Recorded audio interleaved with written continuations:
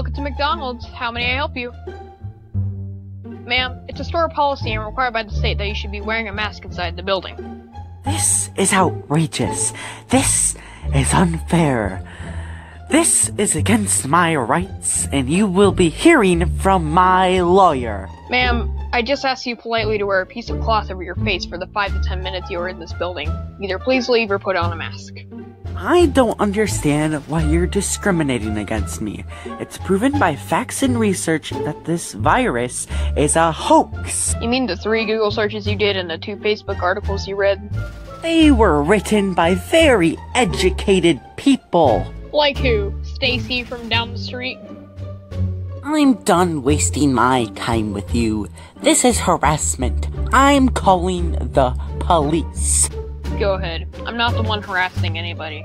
Who was bothering you, sir? Excuse me? I am a woman. Ma'am, I wasn't talking to you.